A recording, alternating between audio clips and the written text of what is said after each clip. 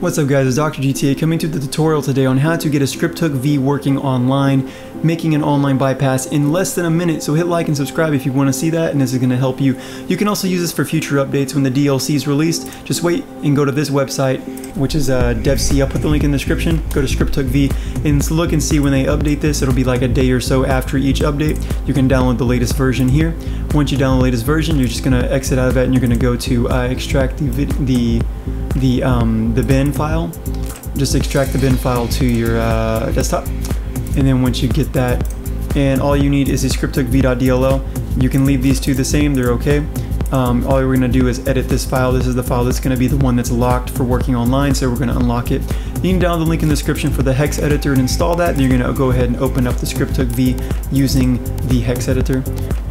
Once you open it, it's going to look like this, weird, very weird. Go to search, you're going to go to replace, you're going to type in this number, which is 743848, and you're going to uh, copy and you're going to paste it in the replace, but you're going to change the 74 to a capital E, capital B, and you're going to make sure text string, the data type is a hex value, and you're going to do all, and pretty much you're going to um, do this just replacing the 74 to the EB.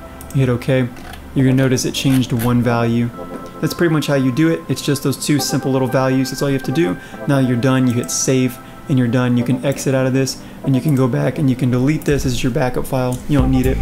And then take these three files, copy them, go to the root of your GTA 5 folder. Mine's Steam, so it's going to be x86 Steam, Steam Apps, Common, Grand Theft Auto 5. Go ahead and paste those in here and override anything. And when you go online, it should work online.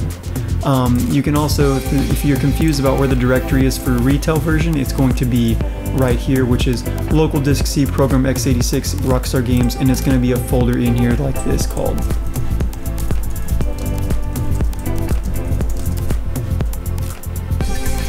And it's going to be in there, and that's where you'll paste them right there, like that.